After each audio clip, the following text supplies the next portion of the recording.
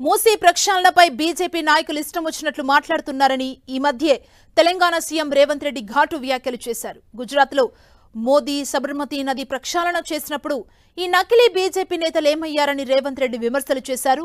రేవంత్ వ్యాఖ్యలకు Kishan Reddy strong counter ఇచ్చారు.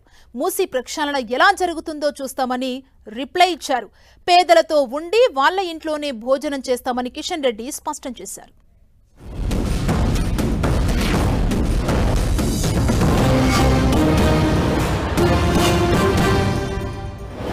నేను అడుగుతున్న కొంతమంది నకిలీ బీజేపీ నాయకులను నరేంద్ర మోడీ గుజరాత్లో సబర్మతి రివర్ ఫ్రంట్ కట్టుకుంటే అది అద్భుతం ప్రపంచానికి తలమానికం అంటారు గంగా నది ప్రక్షాళన చేస్తే ప్రపంచానికి ఆదర్శంగా నరేంద్ర మోడీ ఉన్నాడు అంటాడు మరి నేను అడుగుతున్న నకిలీ బీజేపీ వాళ్ళు మూసీ నది ప్రక్షాళన మేము చేసుకోవద్దా?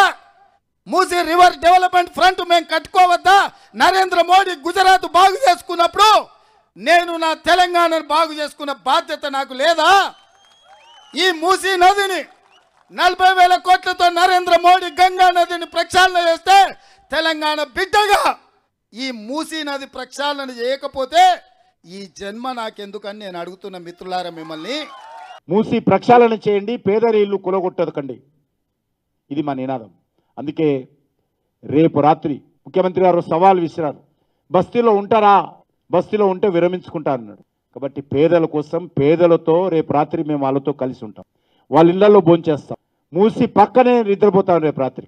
మేము ప్రజలను రెచ్చగొట్టడానికి కాదు ప్రజలకు ధైర్యం చెప్పడానికి వెళ్తా ఉన్నాం.